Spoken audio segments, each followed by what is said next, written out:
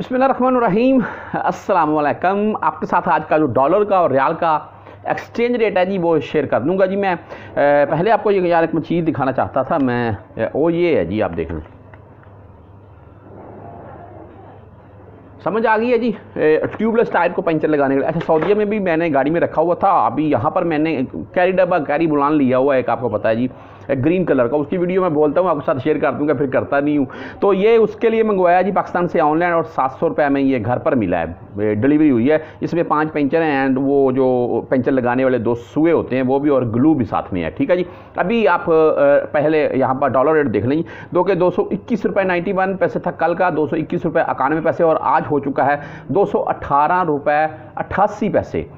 तीन रुपये तकरीबन कम हो चुका है कल की नस्बत। हालाँकि कल भी तीन रुपये कम हुआ है, आज फिर तीन रुपये कम हो चुका है जी, डॉलर। और रियाल रेट के मतलब बात करेंगे, इस चीज़ का असर रियाल के ऊपर भी पड़ रहा है। वो ये है जी कि आपको यहाँ पर पाकिस्तानी एक्सचेंज रेट दिखलाई, अट्ठावन रुपये पूरे अट्ठावन रुपये हो चुका है और इंडिया इक्कीस इक्कीस हो चुका है और बांग्लादेशी टका पच्चीस टके छब्बीस पैसे हो चुका है, ठीक है जी? मुख्तलिफ़ बैंकों के हिसाब से सुन लें। फौरी बैंक बैंक जजीरा की बात करें, करेंगे तो आपको सतावन रुपये बहत्तर पैसे इस वक्त रेट मिल रहा है जी, दस हज़ार फ़ीस के साथ है। एस टी सी पे की बात करें तो आपको अट्ठावन रुपये अट्ठारह पैसे रेट दे रहा है एस टी सी पे और सत्रह रियाल इनकी फ़ीस है जी। तहरील राज़ी राज़ी बैंक, अट्ठावन रुपये पूरे अट्ठावन रुपये रेट है जी, बेस्ट रेट है दस, सत्रह एंड पच्चीस रियाल फ़ीस है जी। वेस्टर्न यूनियन, अट्ठावन रुपये पैंतीस पैसे रेट है और इनकी तेईस रियाल फ़ीस है जी।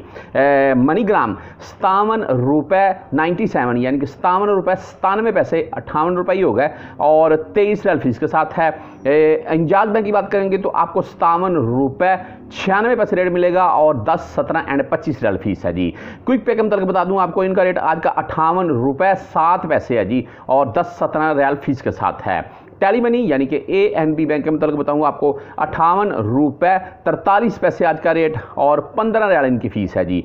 अगर बात करें होंडी का थ्रू लास्ट में ये भी बता दूँ होंडी वाले इस वक्त पचपन दे रहे हैं जी। किसी ने भेजना हो रिस्क भी है, पकड़े गए, आपके पैसे भी जाएँगे रेट भी पचपन दे रहे हैं। उससे बेहतर है किसी की मिनत कर लें इकामे वाले की, या इकामे के बगैर नहीं जाते हैं पैसे। पहले होता था, वो सऊदी बैंक से चले जाते, लेकिन अभी नहीं जाते हैं। किसी दोस्त वगैरह को बोलकर भेज दें, वो बेस्ट है।